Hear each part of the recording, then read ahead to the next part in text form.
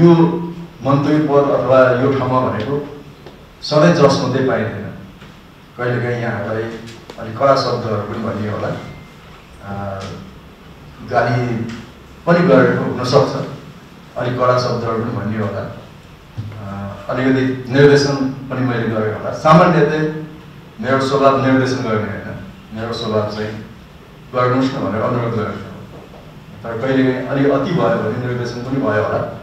त्यस्तो बेलामा यहाँहरूलाई केही कुराले बिजाएको छ भने त्यसमा पक्कै पनि यहाँहरूले हाम्रो पदीय बाध्यतालाई बुझ्नुहुन्छ त्यसमा क्षमा गर्नुहुन्छ भन्ने नै मलाई लाग्छ। र सबै साथीहरूलाई म त्यसमा धन्यवाद दिन चाहन्छु। एउटा प्रतिकूल राजनीतिक घटनाक्रमले मैले राजीनामा दिनुपर्ने ठाउँमा हामी आइपुग्यौँ।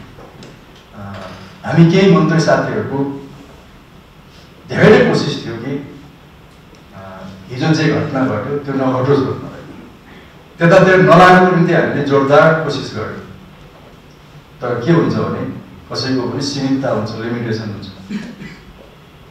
जति गऱ्यौँ त्योभन्दा गर्न सक्ने ठाउँ थिएन त्यति गर्दा पनि हामीले रोक्न सकेनौँ यसमा हामीलाई पनि दुःख लागेको छ लोकतान्त्रिक मुलुकमा संसद भनेको लोकतन्त्रको अभ्यास गर्ने जनताको जनप्रतिनिधिहरूको अभ्यास गर्ने सर्वोच्च थलो त्यो सर्वोच्च थलो जीवित हुनुपर्छ।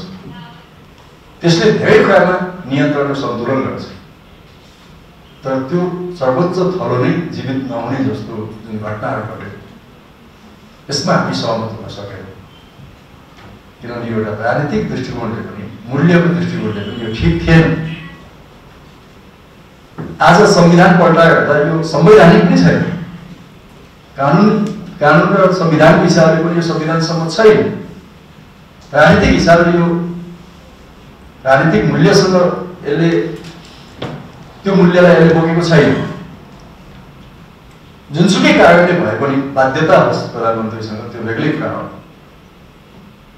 ती सबै कारणहरू भए पनि यो एउटा अलोकतान्त्रिक नै मसँग यस्ता कारणहरू थिए भनेर अलोकतान्त्रिक अथवा असंवैधानिक गलत काम गर्न पाइँदैन।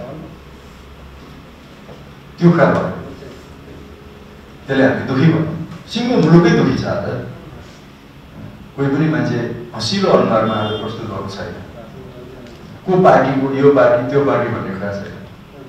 अनि लोकतान्त्रिक प्रक्रियाहरूमाथि गम्भीर आधा आघात परेको भन्ने नै महसुस गरेर हामीले म लगायत केही मन्त्री साथीहरूले। पदबाट राजीनामा दिएका छौँ। यसले अघि पनि मैले भने कि अलिकति हल्का महसुस भएको छ तर यद्यपि यसलाई फेरि ट्र्याकमा ल्याउँ मलाई विश्वास छ कि यदि यो देशका संवैधानिक अङ्गहरू स्वतन्त्र छन् विवेक पुर्याउँछन् त्यहाँ मानिसहरू ठिक छन् भने शत प्रतिशत भन्दा पनि अझ ज्यादा विश्वासका साथ म भन्छु कि संसद पुनर्स्थापना हुन्छ। मैले कन्डिसन राखेँ यदि संवैधानिक अङ्गका मानिसहरू स्वतन्त्र छन् विवेक पुर्याउँछन् मुलुकप्रति संविधानप्रति जवाबदेही छन् भने यो कन्डिसन मैले भनेको छु। शत प्रतिशत संसद पुनर्स्थापना हुन्छ र हुनुपर्छ। त्यो नै हाम्रो लोकतन्त्रको विजय हुन्छ संविधानको रक्षा हुन्छ र राजनीतिक दलहरूको पनि हित त्यसैमा छ।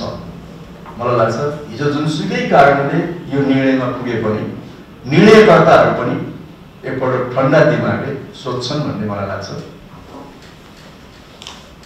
यति कुरा भनेर यो विदाय कार्यक्रम आयोजना गरेको हो। यहाँहरू सबैलाई हार्दिक धन्यवाद छ। मेरो नाममा केही बुझबुझाएको बाँकी छ भने भनिदिनु होला। मेरो सचिवालयको साथीहरूले त्यो गर्नुहुनेछ। मेरो सचिवालयका साथीहरू जसले अत्यन्तै मेहनतका साथ मलाई साथ दिनुको सहयोग गर्नुभयो म धन्यवाद दिन चाहन्छु र सबै साथीहरूप्रति म आभारी छु धन्यवाद नमस्कार